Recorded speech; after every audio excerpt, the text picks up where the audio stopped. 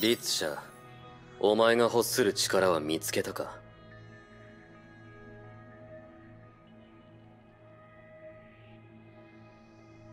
私が求めてるのは答えよ。力が唯一の答えだ。ケビンがお前をここによこしたんだろう。奴は説明しなかったのか？彼が私に何かを説明することはめったにないわ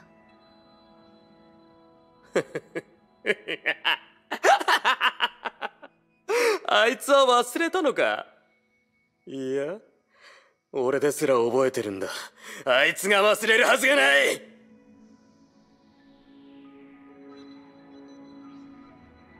約束の律者がもたらした悲劇をあいつが忘れるわけがないだろう！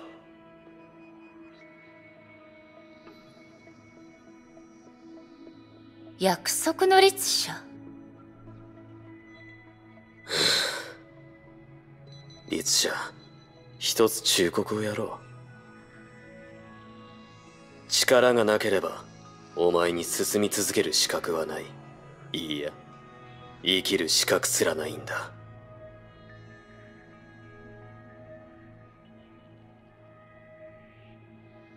約束の律者のことはあまり話したくないみたいね。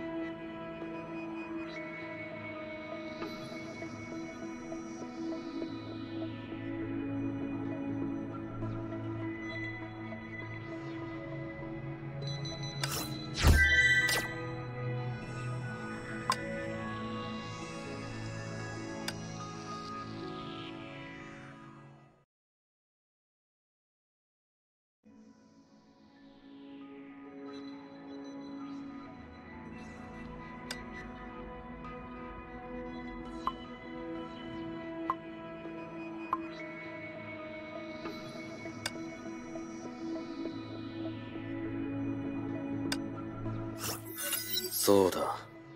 飛天。かつて俺をそう呼んだ人間もいた。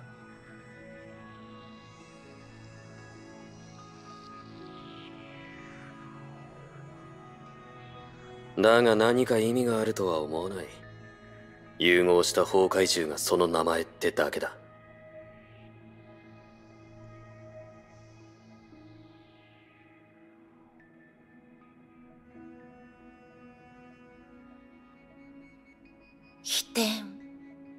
どんな崩壊獣なの？あなたがその手で殺したのかと思ったわ。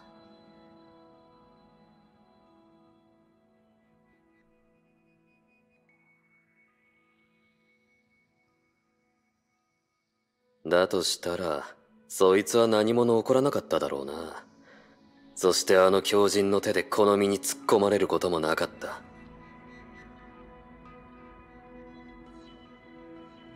狂人あなたが誰かをそんな風に評価するなんて初めてね。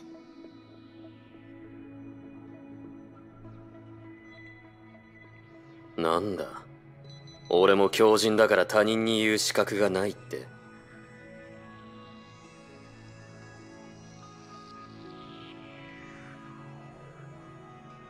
いいえ。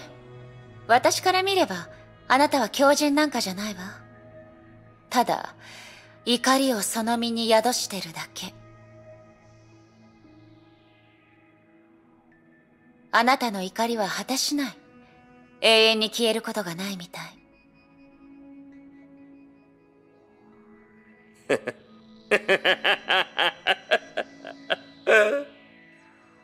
そうだ怒り。全てを殺し尽くさなければこの怒りは決して消えない。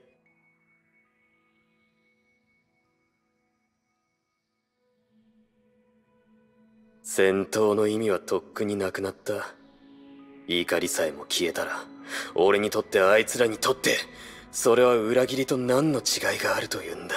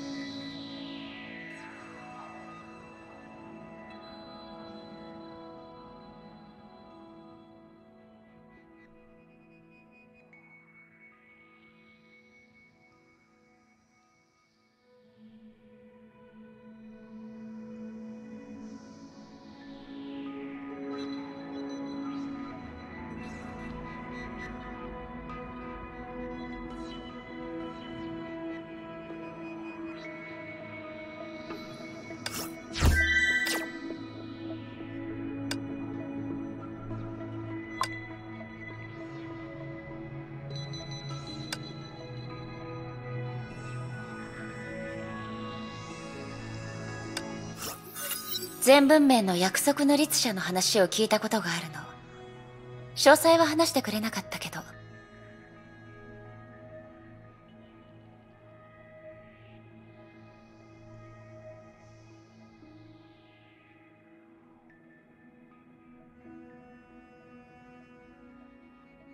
当時は一体何があったの？惨劇。そしてビビたる勝利だ。そういう曖昧な言い方はやめて、ケビン。私が知りたいのは、もっと具体的な真実よ。君が探求すべきことは他にあるはずだ。すでに支配の律者にはあったわ。今の世代の律者は変化していて、前の世代よりも強くなってる。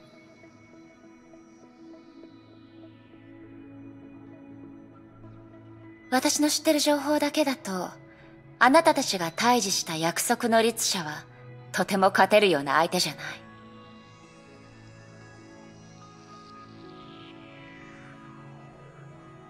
この世代の約束の律者が降臨する前に、もう少し情報が欲しいの。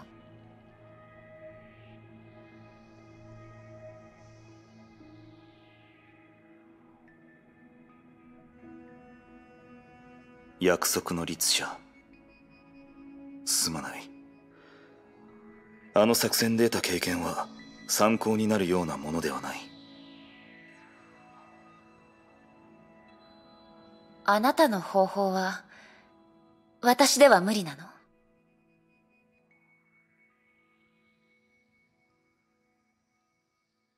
君ならできるかもしれない。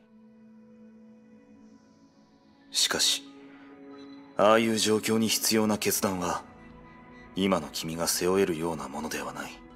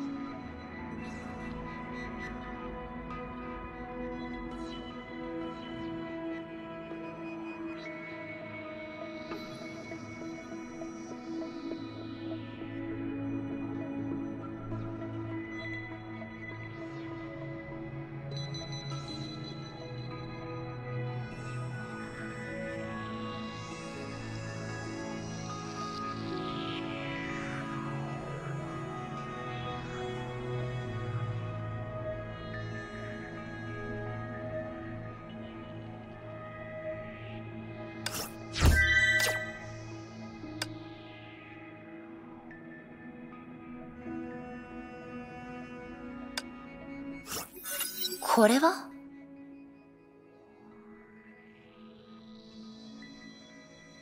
天下制裁を初めて鞘から抜いた時その残存した炎を凍結させたんだ。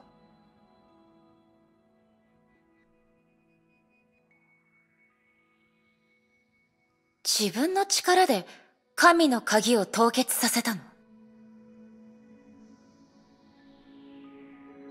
それができなければ天下制裁は神の鍵にはならなかった。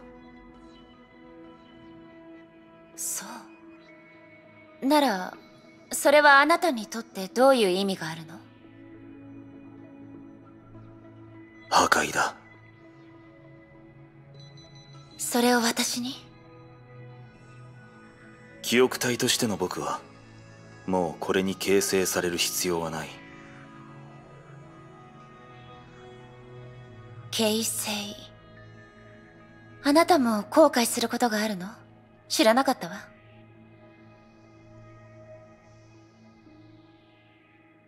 天下制裁それがもたらした結果は僕の本意ではない。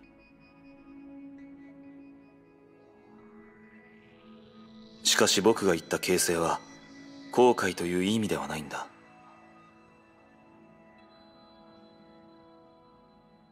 君にしかできないことをやり遂げるにはまず君にしか背負えない代償を背負わなければならない。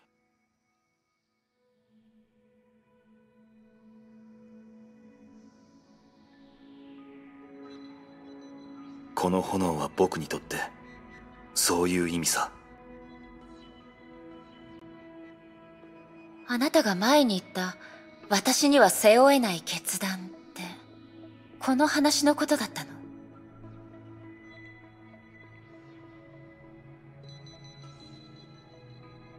リッツシャー君は夢をまだ見るか？自分が救えなかった人。自分のせいで死んだ人の夢を。見るわ。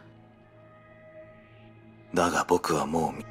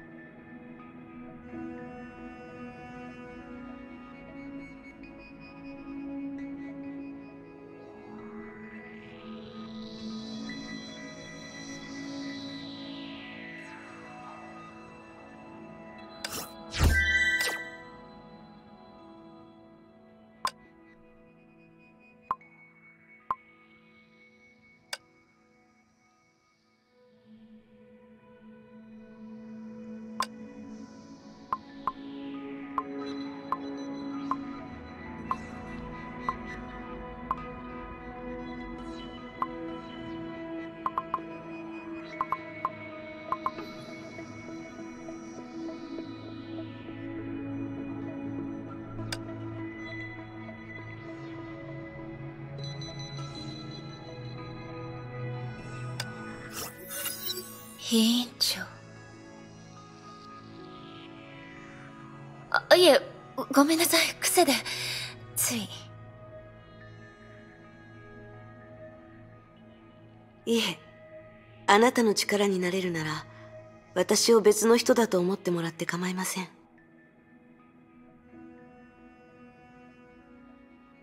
別の人ですか？フア私が何かを教えたとしたらそれはあなたの記憶の一部になりますか？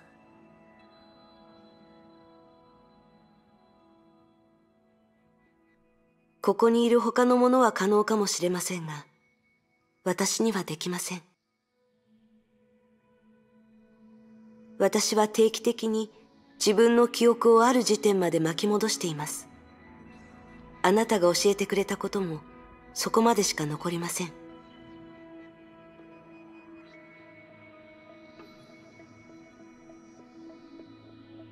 どうしてそんなことを？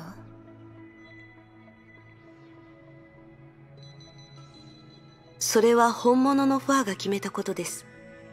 私が私であるために。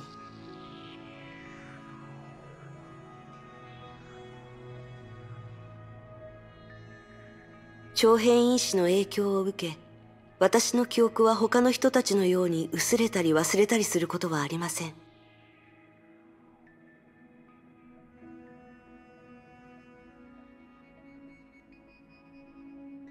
そして私の頭の中で延々と積み上がるのです。それらがどんな影響や変化をもたらすか私にもうまく説明できません。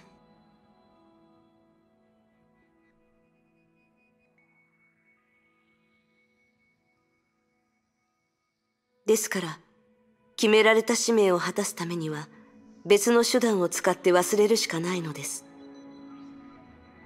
記憶体にとってそれは必要なことですから。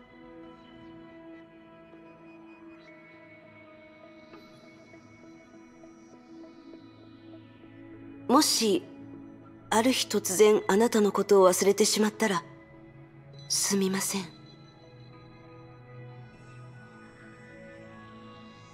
わかりました。あなたにとって確かにそれはいい選択かもしれません。